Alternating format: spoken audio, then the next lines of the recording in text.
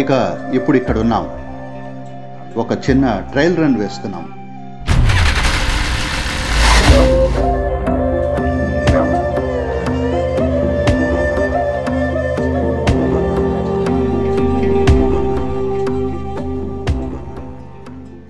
ఇక్కడ ఉన్న క్లోజప్ సైట్లలో మేము ఒక ముఖ్యమైన ప్రదేశానికి వెళ్తున్నాం. బహుశా నార్త్ అమెరికాలో ఇప్పటికీ మిగిలి ఉన్న కొన్ని పురాతన నిర్మాణాల్లో ఇదొకటై ఉండొచ్చు. అది దాదాపుగా రెండు వేల సంవత్సరాల నాటిది. దీన్ని కట్టింది సుమారు క్రీస్తు శకం ఎనభైకి ఇంకా క్రీస్తు శకం ఐదు వందల యాభైకి మధ్య కట్టబడింది.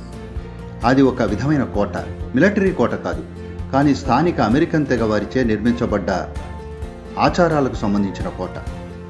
మేము అక్కడికి వెళ్తున్నాం. అలాగే ప్రస్తుతం ఎంతో ప్రసిద్ధి చెందిన బర్తింగ్ ట్రీ అనే చెట్టు దగ్గరికి కూడా వెళ్తున్నాం. సరే మనం ఏం కనుక్కుంటామో చూద్దాం.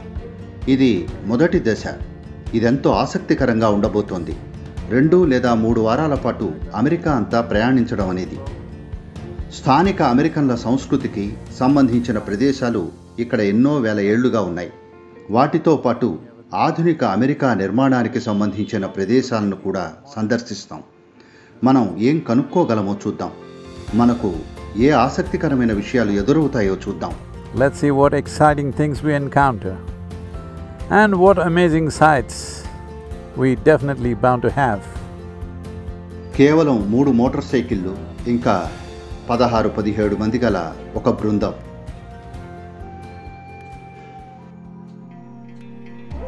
ఇప్పుడే కదా మొదలుపెట్టాం. ఇది పూర్తయ్యేసరికి మా వెనకాల కాయలు కాస్తాయి. పదివేల మైళ్ళు.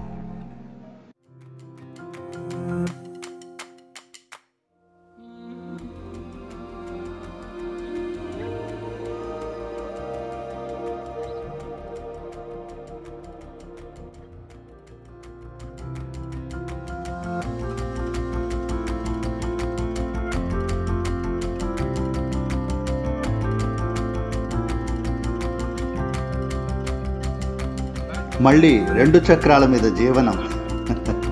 ఒకానొక సమయంలో భారతదేశంలోని అరణ్యాల మధ్యలో ఎక్కడో నేను మోటార్ సైకిల్ మీద కూర్చుని తినేవాణ్ణి. అరణ్యంలో మీరు నేల మీద కూర్చుంటే అన్ని రకాల పురుగులు మిమ్మల్ని కొడతాయి. ఆఖరికి నేను మోటార్ సైకిల్ పైనే నిద్రపోయేవాడిని కూడా.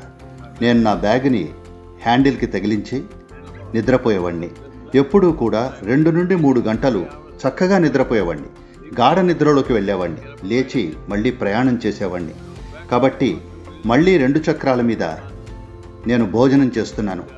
ఇప్పుడే మేము మ్యామూత్ గుహల నుండి బయటకు వచ్చాం అతిపెద్ద గుహలలో ఒకటైన ఒకటైనా కాదు బహుశా ప్రపంచంలో అన్నిటికన్నా అతిపెద్ద గుహల సమూహం ఇది.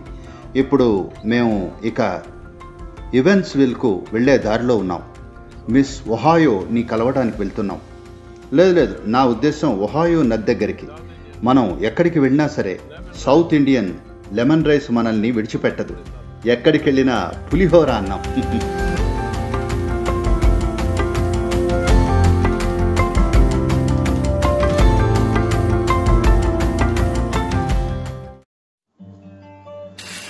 ఇప్పుడు మనం ఎఫీజీ మౌంట్స్ దగ్గర ఉన్నాం.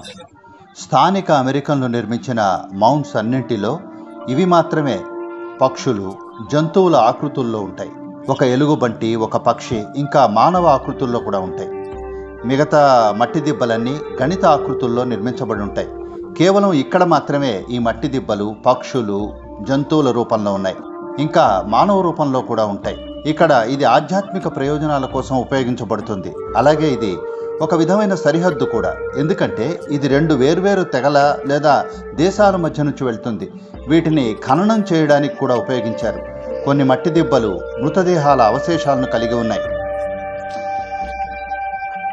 కాబట్టి మనం ఇక్కడ ఎఫిజీ మౌంట్స్ వద్ద ఉన్నాం ఇవి ఇక్కడి స్థానిక అమెరికన్ ప్రజలకు సంబంధించిన చాలా ప్రత్యేకమైన పురావస్తు అవశేషాలు ఉన్నాయి క్రీస్తు శకం ఏడు వందల నుండి పద్నాలుగు వందల మధ్య ఎక్కడో దీనిని నిర్మించిన ప్రజలు వారెక్కడికి వెళ్ళారో మనకు తెలియదు ఈ ప్రజలకు ఏం జరిగిందో చెప్పే పురావస్తు రుజువులు ఉంటాయని నేను అనుకోవడం లేదు. కానీ వారు దీనిని నిర్మించారు. వారు ఇక్కడ నివసించారు. ఇంకా ఏదో తమ సొంత కారణం వల్ల విడిచి వెళ్ళిపోయారు. మనం ఇప్పుడు ఇక్కడ ఉన్నాం వారికి పవిత్రమైన ఈ భూమిపై నడుస్తూ ఉన్నాం. ఇక్కడ ఖననం చేయబడిన వారి పట్ల అలాగే ఈ ప్రదేశాన్ని పవిత్రమైనదిగా భావించే వారి పట్ల చాలా గౌరవంతో నడుస్తూ ఉన్నాం. ఎందుకంటే మానవ స్ఫూర్తి అనేది అధిక విలువైనదిగా ఉండటం ముఖ్యం. మానవులు పవిత్రమైనదిగా భావించేది ముఖ్యమైనదిగా ఉండాలి. వినియోగం కోసమో గెలుపు కోసమో లేదా మరే ఇతర విషయాల కోసమో నిర్మించే వాటికంటే ఎక్కువ విలువైనదిగా ఉండాలి. కాబట్టి ఇవి వారి జీవితంలోని ఆ కోణానికి చెందిన అవశేషాలు.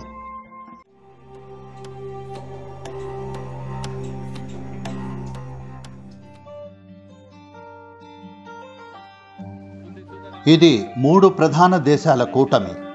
లకోటా డకోటా ఇంకా నకోట. ఇందులో మొత్తం తొమ్మిది తెగలు కలిసి ఒక బలమైన కూటమిగా ఉన్నాయి. దీన్ని ఏడు హృదయాల సమూహం అని కూడా పిలుస్తారు. ఇక్కడ ఏడు చాలా బలమైన తెగలవారు ఒకటిగా కలిశారు. అలాగే ఎన్నో విధాలుగా ఉత్తర అమెరికాలో వీరు అమెరికాలోకి వలస వచ్చిన తెల్లవారికి చాలా కాలం వరకు బలమైన ప్రతిఘటనగా ఉన్నారు.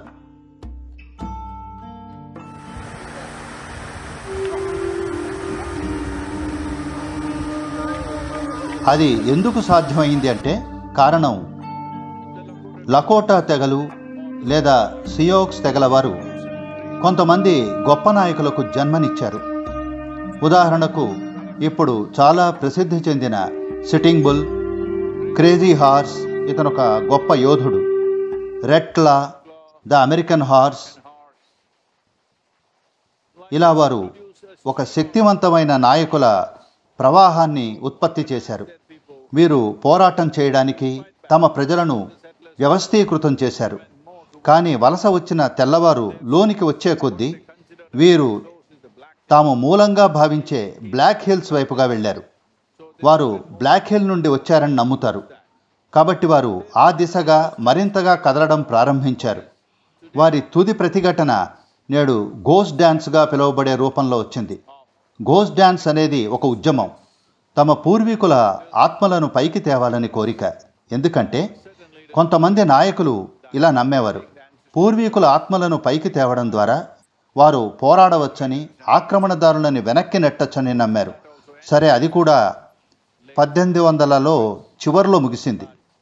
కానీ ఈ లకోటా తెగ సమూహం లేదా అందరిచే సియోక్స్గా పిలువబడే ఈ తెగ ఉత్తర అమెరికాలోని అతిపెద్ద దేశాల్లో ఒకటి లేదా అది ఒక అతిపెద్ద దేశాల కూటమి.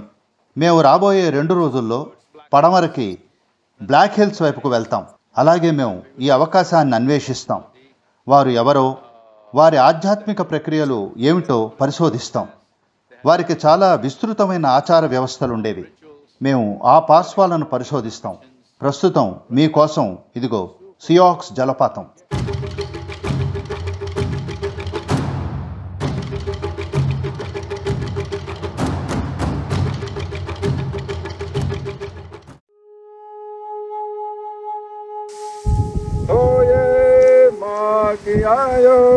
నేను ఆయన ఆత్మని చూడగలుగుతున్నాను అది చాలా బలంగా ఉంది.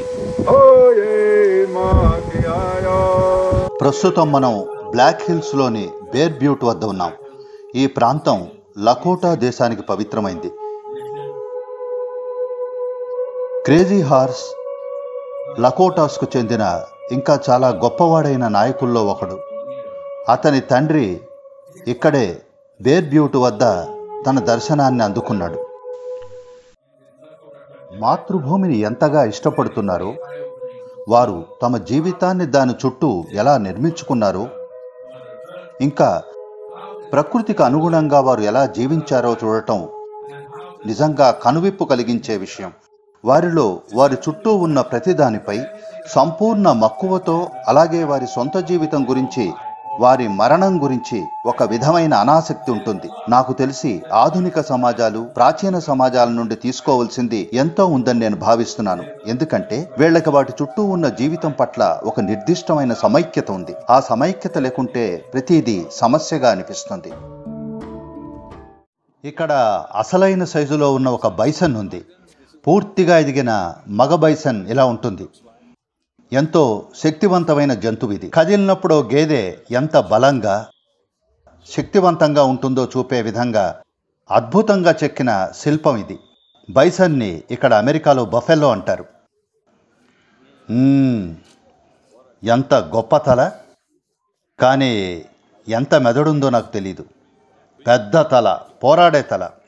మీకు మీకు తల అనేది మీరు ఎవరినైనా వెనక నుంచి కుమ్మడం కోసం ఉండొచ్చు లేదా మీకు తల అనేది ఏదైనా అద్భుతమైన దాన్ని నిర్మించేందుకు ఉండొచ్చు. ఇది మీకున్న ఎంపిక సరేనా? అలా అని మేము ఈ గేదెను అవమానించడం లేదు. ఎందుకంటే ఇది ఎంతో గొప్ప పని చేస్తోంది. పర్యావరణానికి ఇంకా ప్రపంచానికి తనదైన మార్గంలో. కాబట్టి దీని అవసరం చాలా ఉంది.